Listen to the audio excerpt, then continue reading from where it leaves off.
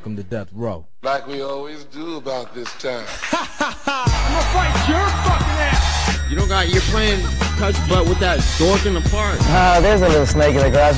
Hey, I'm not surprised, motherfuckers. No forget Jesus, people. I'd like to take this chance to apologize to absolutely nobody. Hey, pussy, are you still there? I'm back. Who the fuck is that guy? Break out the red panties. We're rich, baby. I would like to introduce.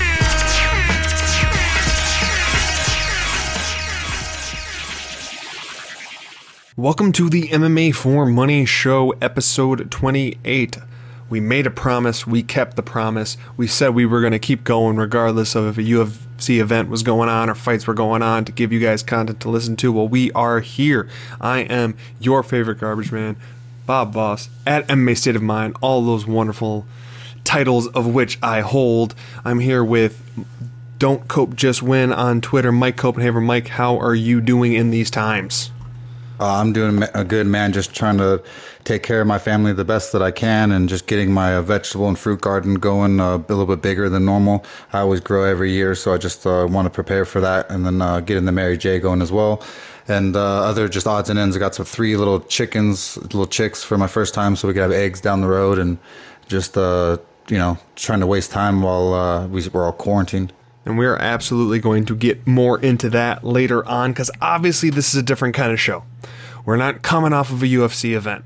There's not a UFC event this weekend. We are going to touch on some UFC and we're going to get some feedback from you guys on how you want us to handle the next couple weeks in terms of fight coverage. But we're also going to have two little news segments, at least for the foreseeable future, provided you guys give them good feedback and you enjoy them. We're going to do a little COVID corner, basically how this is affecting me and Mike on the day to day. It's also partly a little get to know your host in that regard. Uh, we're gonna do Mike's survival guide as well. I have a few things that I have done to make these times a little bit easier on me and mine, but uh, Mike has way more knowledge in that regard, and I know he has plenty of tips for you guys to do the same for you. But before we get into all of that, let's go with what we are here to talk about and will likely talk about in some regards for the next several weeks until it happens, provided it happens. You know what? I'm thinking it's going to happen. Uh, UFC 249 is happening. That's the newsreel. Per an Instagram Live interview with Kevin Iole, Dana White says that the UFC will start holding events again, starting with UFC 249 on April 18th. Tony Ferguson and Khabib Nurmagomedov will fight for the lightweight title at a closed event with no fans. From that interview, the only other real info we got out of that is that it's going to be a full fight card, not just a, a single title fight, and the location is known to Dana White, but he's not telling just quite yet. So, Mike, how, does that news make you feel? Uh, it makes me super excited to know that hopefully there'll be some UFC in the future. I know that uh, they need to make money, and there's no way that they could just keep this going for uh, this long without any fights. So I really, really hope that it goes through. We've been wanting Khabib and Tony for so long. We've been screwed so many times. It's just crazy that this is happening right now when, I mean, they've been canceled two, three times or more. And now we're on the verge of possibly happening again, and it may never happen. And if it doesn't, man, it's going to be crazy. So I really, really hope that Dana White comes through with that location and it's in Russia or wherever and in a dungeon or cave and whatever and these guys get going. I'm going to quick read through what the fight card is supposed to be. Obviously, likely this is not going to be in the US, or if it is, they're going to get a special dispensation for it to be uh, at the Apex. Although the NSAC was supposed to have a meeting on the 23rd, I believe, not the 25th, it was either 23rd or 25th, to discuss when they were going to start holding fights again. Because originally the initial stall was to the 25th of March but then they cancel that meeting. So it's kind of open ended when they're going to reconvene and figure that out. But if these fights can happen, this is what we're looking for. I'm just going to do the do the whole fight cards, but just like the names on it. Sijara Eubanks fighting Sarah Moras, Ben Rothwell fighting John Vellante. Lyman Good is fighting Belal Muhammad. That's going to be a good fight. Uh, Jacare is fighting Uriah Hall. Jeremy Stephens is fighting Calvin Kattar. Islam Makhachev is fighting Alexander Hernandez. Ion Cutelaba is doing the rematch of the awkward possum fight with Magomed and Uh, Jessica Andrade is fighting Rose Namajunas in the co-main event. Likely for a number number one contenders fight at 115. Khabib Nurmagomedov would be fighting Tony Ferguson. Obviously, that's the one we've been waiting for. It's the one that's been canceled, and if memory serves, this would be the fifth time they would be making this fight. As unbelievable as that sounds, but I'm hoping this happens. I can't imagine this won't be a big deal uh, pay per view wise, given the gap. Uh, it's always been my opinion that the UFC should do like two fight cards a month, one pay per view, one free card with a week gap in between to like build up towards the pay per view with how many fighters they have. They can't quite pull that off. Um, of the ones I listed, are there any of those matchups that really pop out to you, Mike, other than Khabib versus Tony? Because obviously we're all waiting on Khabib versus Tony. Yeah, right off the top of my head, I mean, Rose versus Andrade seems like some fun. Yeah, you never know what you're going to get with Rose coming in there mentally, and that shoot that could be pretty exciting, especially going over an enemy territory and um, in the sense of it's not home for her. So I, that would be pretty cool completely agree. That's going to be a good one. Honestly, it's up and down. Just seems like a really exciting card. Lots of finishes. Sometimes you could always tell when those matchups present themselves. Oh, some sloppy ones could be in there too, but uh, it looks like a great fight card. If they can keep even half of that, it's a good fight card. And I do do really, really hope it happens. Uh, if it's not going to be in the U.S., like we've talked about in the past in our private chats, and even on here, I believe, mm, whether it be possibly in uh, Dubai or Russia. And I know that Khabib went to finish his camp up in Russia, which pretty much secures the fact that the fight's not going to be in the U.S. because I'm not sure if they're going to let him back in after leaving the country. Mike, if you had to take a guess, we'll take the U.S. off the table. I know we've talked about in this past, but more time gives more thoughts. Where do you think this fight is going to take place? Somewhere in Russia, uh, Dagestan, somewhere uh, friendly that has that doesn't seem to be having very many cases of COVID. So that that would be a great place. It's, I mean, the cold the cold setting usually doesn't harbor germs and stuff like that. That's why the hospitals and stuff are really cold. So maybe the the cold environment over in Russia will help that. I don't, I don't know, man. I, it better be somewhere fun. I don't want to completely beat UFC 249 over the head over the course of this show, because obviously we'll be touching it in some capacity up until that fight happens, if that is indeed the first fight card back. So we are going to leave that as is for now. Now we're going to move into, since it is the news of the day, and we can't really skip over it, especially because it's somewhat invaded every aspect of everybody's life. I'm calling this little section COVID Corner. Now, we're going to break down a couple different aspects of our lives. We'll go one at a time here on how it's affecting how things are going for us. So, it's basically how is the virus affecting your everyday life? So, I'll do the different sections. So, Mike, I'll do one for you, then one for me, and we'll go back and forth a couple times here just to give an overview and overview, and also the fans get to know us a little bit better. So, Mike, how is the virus affecting your everyday in terms of work? Well, I work uh, for Local 44 in Hollywood. Uh, we're carpenter prop makers. We build all the sets basically for the movies, Netflix, and so forth. So uh, they called us all off of the job site over, it was like last Thursday, and told everyone basically to go home and pack up. And I knew that the, it was going to be big if they were telling us all to stop uh, production. Some some were filming and they stopped them in the middle of it. Uh, stars as big as Meryl Streep and Nicole Kidman got halted.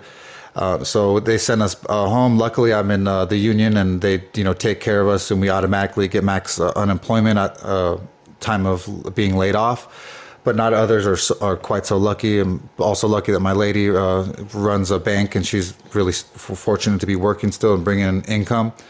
So it's just been really weird. It's it's just totally halted um, our way of life over here in California because Hollywood is kind of runs in the heart of of this. Hollywood is the heart of California and so much goes on through that. And so with not working over there i've just been doing so much at home. So it's just been really weird. There's just been way too much dormant time. Yeah my life has gone in terms of work somewhat normal but somewhat not normal. Uh, for those who can't tell by my kitschy name and all that i am a garbage man. Uh, we have a small family garbage company pretty much within the cornfields. Um, i am still working every day uh, obviously, things are changing at work with places shutting down. We've done our best to try to call up as many of the restaurants and different type places that have been dealing with a slowdown, seeing if they want to lessen their service so they're not getting hit with crazy bills that they don't need that they can't really being affording right now, and extra service for those who need it there, like the grocery stores that are getting flooded. Um, been taking extra pro- protocols because obviously I'm dealing with trash. Um, where I've been working in the entire county, there's only been one positive case. So, and not even anywhere really near where I work, but still, still somewhat out there. But uh, just trying to be a little bit more careful about what I do touch, even though I do wear gloves. Things fall. I use a shovel, not with my hand. Don't touch it with my hands. And then uh, the CDC put out a protocol for people in my job area, and uh, I had been doing this beforehand, but it even more solidifies it. Is when I get home, uh, I take off my work clothes in the garage, and I just go straight into the shower before I go around my kids or my wife. Uh, kids are obviously off of school, so it's they're around a little bit extra and trying to help out do all the online learning and stuff with that. But uh, in terms of work, it's just been a little. It's not overly uh, anxious, uh, anxiety-inducing, but just that low level of you don't know because it takes up to like ten days or whatever to find out if you've been infected. So for all I know, I have been. Uh, I'm doubting it, but obviously, you don't know for sure. So not to get too morbid, but I got a, I got a positive outlook. I'm a pretty healthy guy in, in general. So moving on uh, to the our little next section of our COVID corner. Uh, how's the virus affecting you in your everyday life for your family, Mike? Well, I have a, a two two year old boy, two and three months, two years and three months old, and it's affecting uh, the fact that like he wants to go play, he wants to go to the park and uh, play with other children, and uh, you know we're not going to the park. Every time we go in the car, he, he's disappointed that we're not ending up at the park, going to the slide and the swings. So it's really sad to see him affected by it because he, he doesn't really understand what's going on. I'm I'm tired. I'm just so tired of being inside the damn house, dude. I have a four bedroom house with a pool and a huge backyard, and I, I literally, bro, I'm so tired of being here, dude. I'm I'm going stir crazy. It's definitely gonna it's causing like irritability in the sense of our me and my lady's relationship. Um, you know, just because like I want to go out and do stuff, man. I mean, uh, we we didn't work this hard to get this life to not go out to a steak dinner or go out to the beach and go have a few drinks, and it's just it's just it's weird, man. Uh, I, I'm certainly just like I said, just tired of it, and I'm sure everyone else is. Personally, well, with the family, I'm doing pretty good with it, honestly. Like I said, the being able to go to work is really helpful to give some sense of normalcy.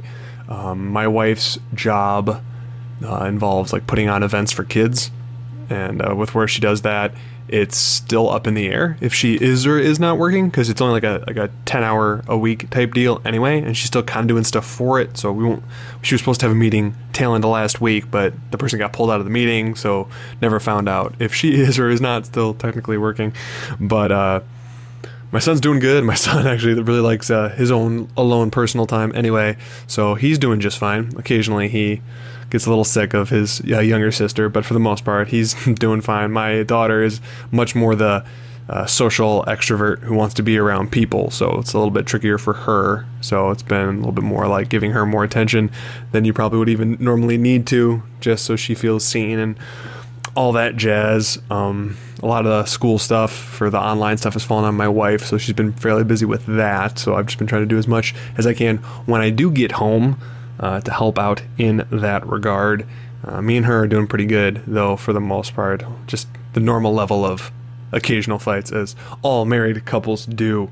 Um, and then I was just telling Mike tonight, actually, for the first time, I had a five person Google Hangout meet with my side of the family because it's one of my sister's birthdays today. And uh, we had four, we had five families, like my, my folks, one of my sisters and her husband and their three kids, my other sister, her husband and their one kid, and my, my other sister whose birthday it was and her husband all on the videos at the same time, which is basically organized chaos of people talking nonstop over each other, which eventually gave my dad a headache because he's not used to dealing with that level of computers, which was uh, entertaining on my side. I'll give him crap for that about about that at work tomorrow. But just obviously very much out of the realm. I mean, she lives in D.C. anyway, so we wouldn't be like seeing her. But just the not seeing of the family by now, we would have seen way more family, including my wife's family. Oh, and I, am not sure if I've said on this podcast before. Um, this is my first time telling Mike this. My in-laws did make it in from Mexico. They got home on uh, for last Friday. Originally, they weren't, weren't going to come in till into April, and then they hurried it up to last weekend, and then they were actually able to hurry it up even more, which is good that they did that because uh, Illinois pretty much shut a lot of stuff down as of last Saturday. That's when we got our like shelter in house order was Saturday at like five, so they were able to get going and get in safe, which was where we were originally going to meet them over in Mexico, but obviously that's not going on. So that's obviously a major, major minus on the family front for me because that was a our big vacation of the year. But uh, obviously, this stuff is a lot, a lot of down stuff. But we're gonna get to the bright stuff towards the end, I promise. Um, so our final thing on the COVID corner before we move on to more entertaining and more knowledgeable stuff on our next segment is how has the virus affected your life socially? So, Mike, how has the virus affected your life socially? Well, I love the barbecue, and it's just there's no barbecues going down every weekend. We usually get together with our in-laws every Sunday, and you know they're they still come every once in a while, but not as much. And so it's it's gatherings, man. I mean, I love people. I mean, uh, there's nothing more important to me than my friends and family. I absolutely love love barbecuing and cooking. I love making people happy through food and so it's it's really put a detriment on what I love to do. So it's just it's making me a little bit less happy in the sense of I, I can't make others happy, so it makes me unhappy. And I just I just cannot wait to get to the warm weather, the barbecues over here in California, man. It's it's basically spring over here soon, and I just I want it to be Cali time. And Mike's not kidding about the barbecue thing. He sends me videos and pictures of just the utterly amazing food that he cooks on the barbecue and I haven't even experienced it, and just from, like I, am missing it just from seeing the pictures, man. Like it's it's to that degree on that side. Uh, for us socially, my family, and everything like that. Uh, the only big thing it ever that it really affected was we were just gonna have just happened to have we were gonna have a meetup uh, at our place with uh, the guy who's the best man at my wedding. Been my best friend for a long, long time. We're not that good about talking, not just in the typical guy way of we don't work together, so we don't talk all the time. But every once in a while, it almost seems to be like within, within a day or two of each other, we realize, man, it's been too long since we've seen each other. It's probably been about like since October, I think, when we hung out. His, uh, him and his wife and his uh, little boy were gonna come over uh, last Thursday. We are gonna get pizza and have him come over and just have a good time. But obviously that, that got that plug got pulled. But uh, in terms of socially this time of year, honestly, uh, we have a tendency, uh, our household have a tendency to incorporate our own version of social distancing because obviously this is the flu season anyway, and we have a tendency to just kind of hunker in for like a month or two, not going out too much, just try to keep the kids from getting sick if they haven't gotten sick by that point, just to like kind of ride it out until the warm weather comes, then bounce right back into it.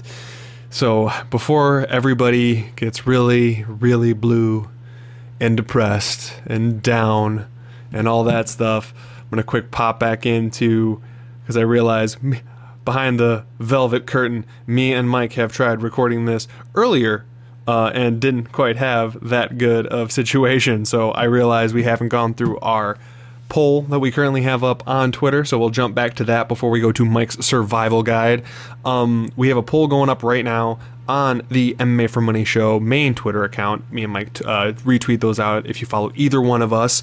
And it's have how have you been dealing with the hiatus in fights? We have four options there. One's watching old fights, two is boozing, three is fighting on Twitter, and four is all of the above. Mike, which one of those categories do you fall into during this uh, quarantine life we're in?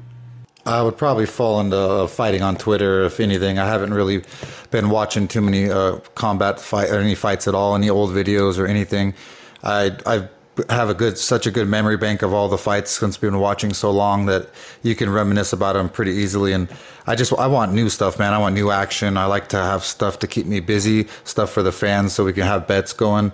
And so I, I just, I really, really cannot wait till we have some live MMA betting again every weekend or every other weekend or whatever it is, and just get our lives all back to normal because I, I really am fiending for some MMA, and it's just ridiculous because we just had a big hiatus before we even got back to this. Yeah, we were just getting on that uh, UFC had just started up a schedule of being like I don't know, like 12 weeks in a row or something crazy like that. Before, yeah, we got the impromptu hiatus there. Uh, I probably lean on the uh, watching old fights section. I haven't watched a ton. I've watched a few, um, just some of my favorites and uh, a few of the ones from recent fight cards that like I feel like I didn't remember properly, uh, given like some of our last podcasts I was talking about, like going back and listening. I'm like, I, mean, I must not, I'm misremembering certain things. So I've gone back and rewatched a few of the more recent events and some of the undercard that I missed. So if you want to count those as old fights, um, the boozing definitely not because since I am working and working on the truck, I don't drink during the week because two thirty rolls around real early, and just one extra drink at night makes it really hard to get up there in the morning. Uh, Yeah, fighting on I'm- Twitter, I've been I'm- avoiding that. I'm from California, so there's just a lot of medicinal Mary J that goes on. I'm not gonna say what happens. which which I would say is fair. That's finally finally uh, legal here in Illinois. We've actually me and my wife have joked that because my dad used to be heavily into that back in the 70s. Um, we joke that it's his birthday at the end, end of April and we're going to get him a whole ton. Oh, nice, dude. I need to send him some pictures when I get them flowering. He'll love them. yeah, he'll be because he's let's see, he's turning 62.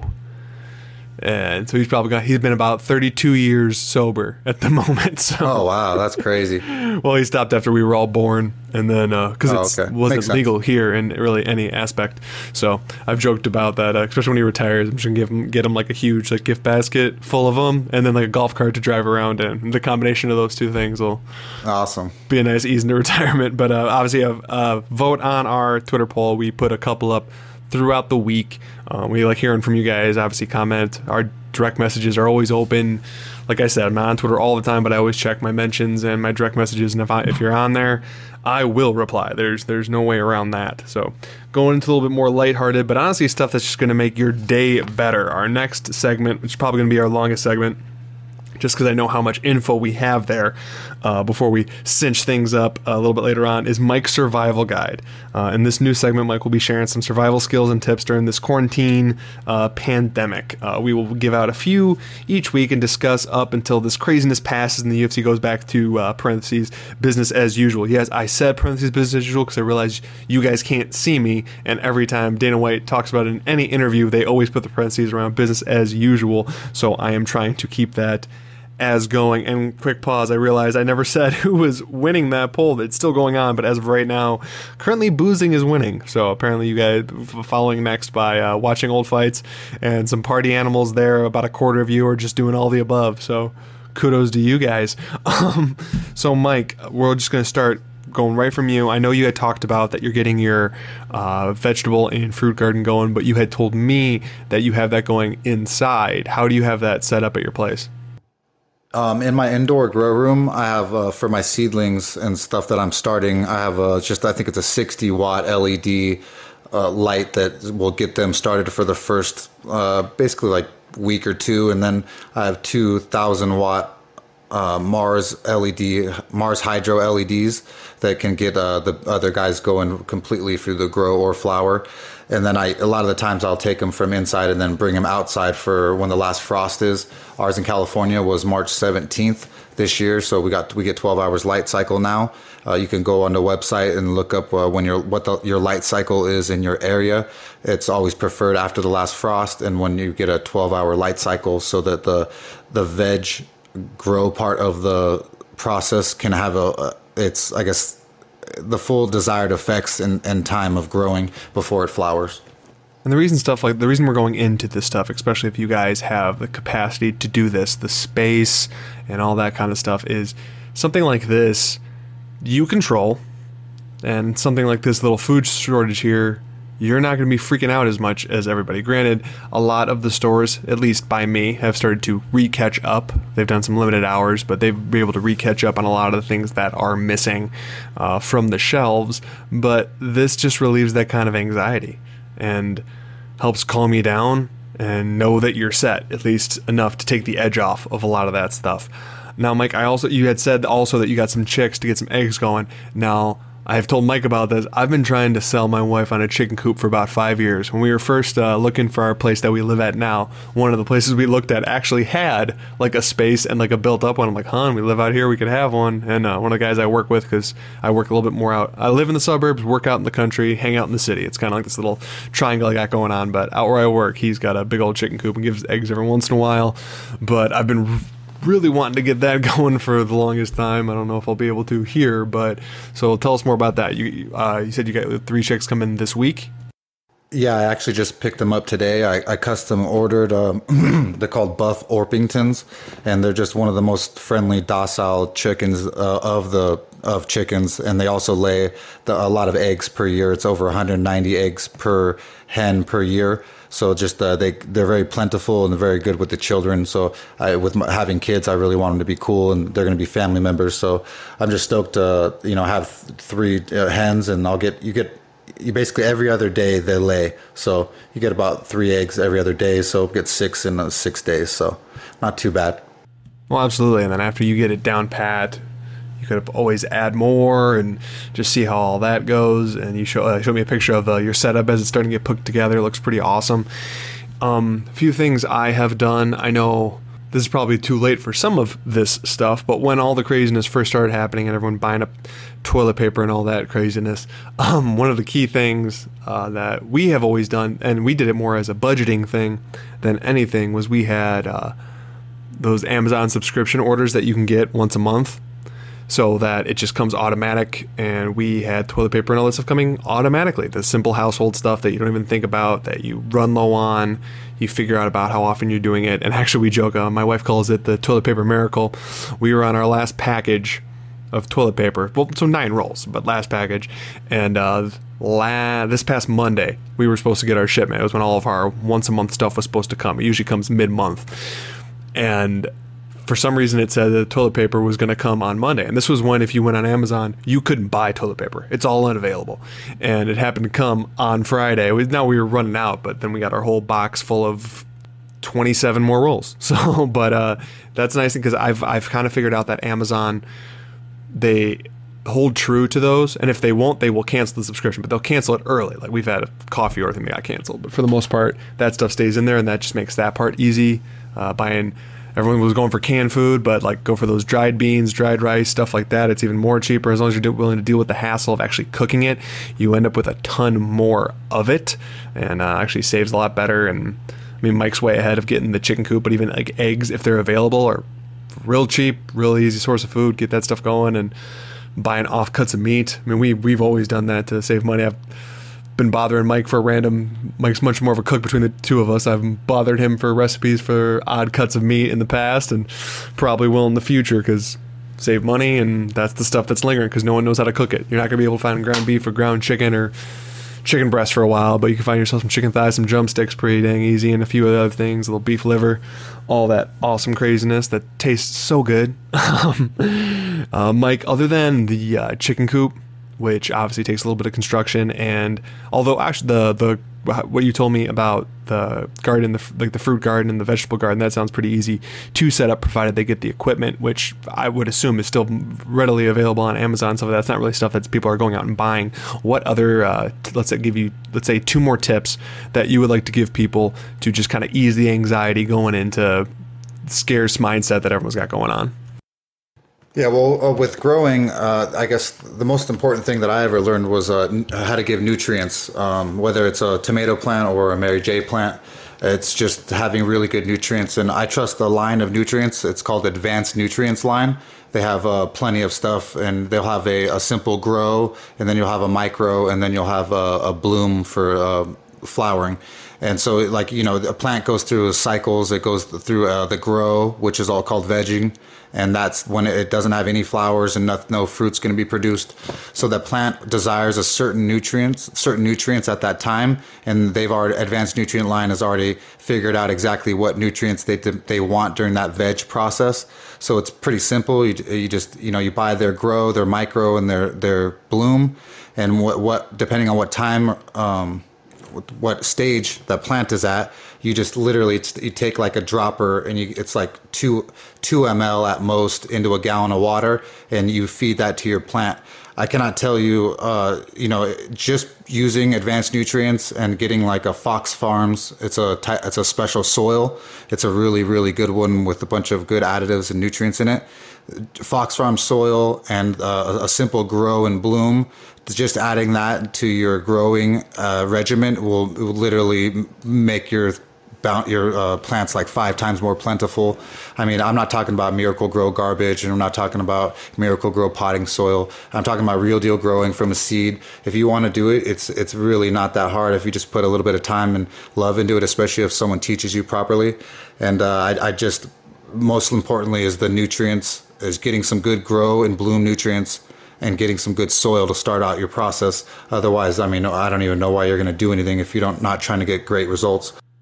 Mike, thank you for that info. Sorry, I was digesting uh, everything you said, thinking about it. Uh, anybody that's interested, like in more specifics, like if you're not like furiously trying to write stuff down right now, if this is something that interests you, obviously reach out to Mike.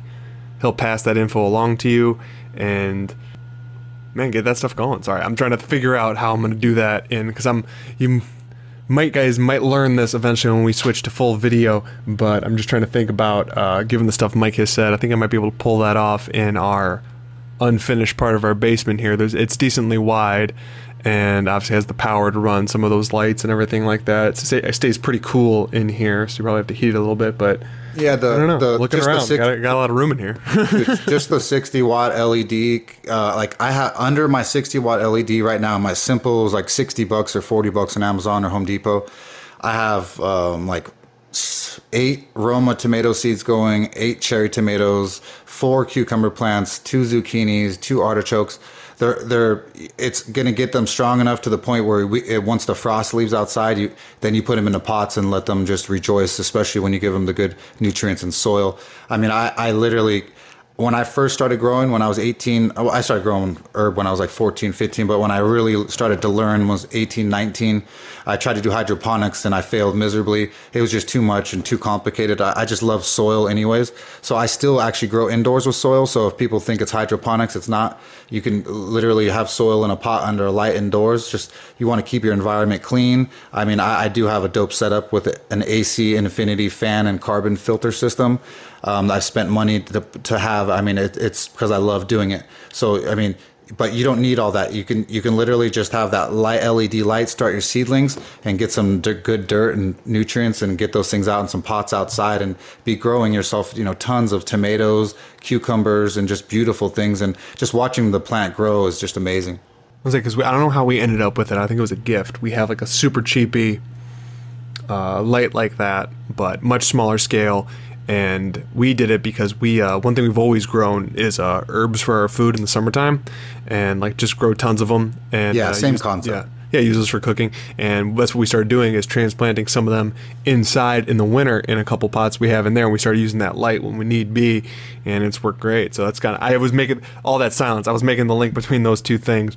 Um, now moving on from the survival guide, which we will go back to because obviously we will have space to fill. Um, we're gonna have a little on-air discussion between me and Mike here to try to figure out what we should do in the next couple weeks leading up to 249 letting you guys in on that conversation because i think that would be interesting.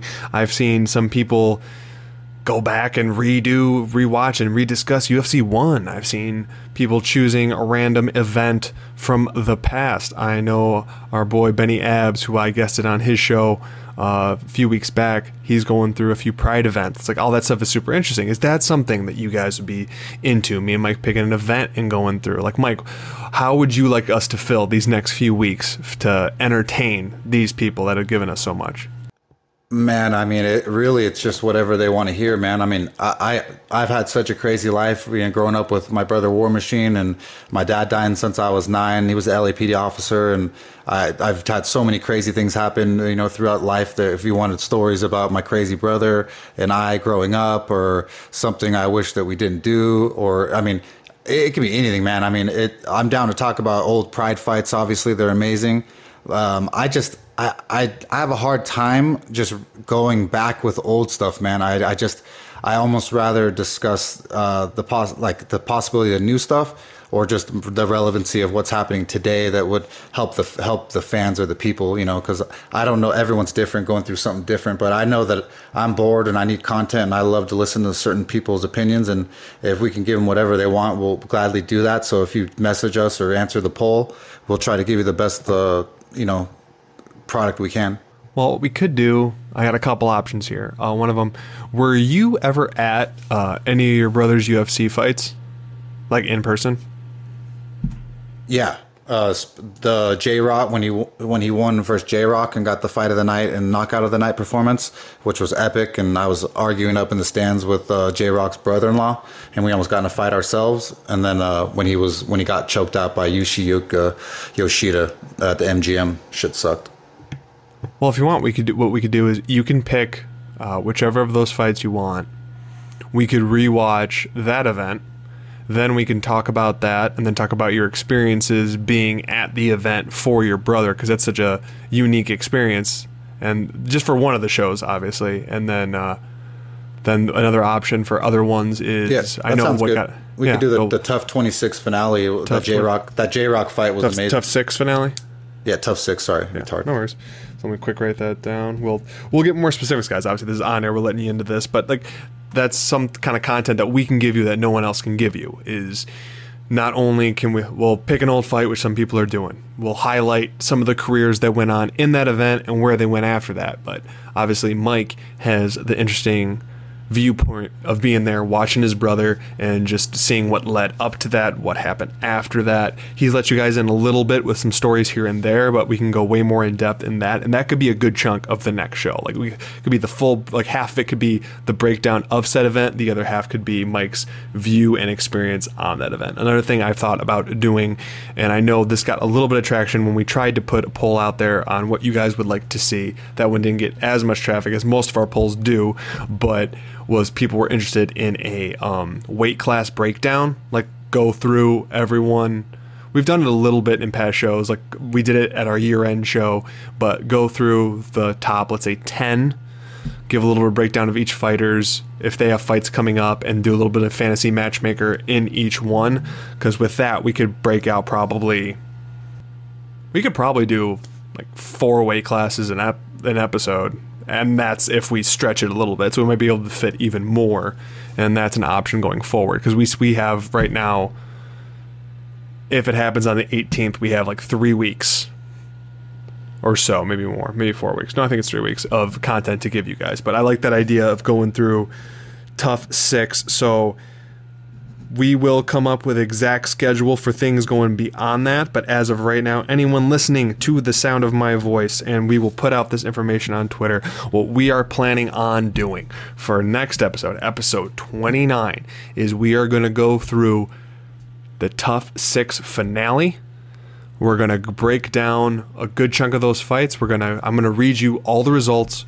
We're going to go through some key matchups especially guys that went somewhere after the fact, like became somethings, um, guys with big names, and then we'll be able to give Mike's firsthand account of everything that happened leading up to it, during, and then the aftermath. And I think that'll be a nice look at you guys. And obviously, if other info comes up, we'll go with that there. So I really like that idea for that.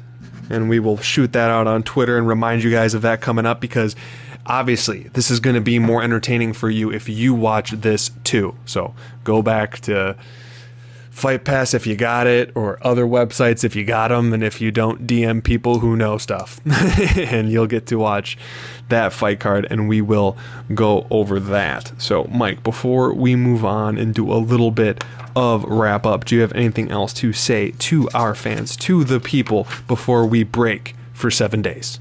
No, I just uh, appreciate all you guys listening always, and uh, we just can't wait to get some more MMA content going back for you guys. But we're just trying our best to fill in some time and give you guys something to talk about and listen to.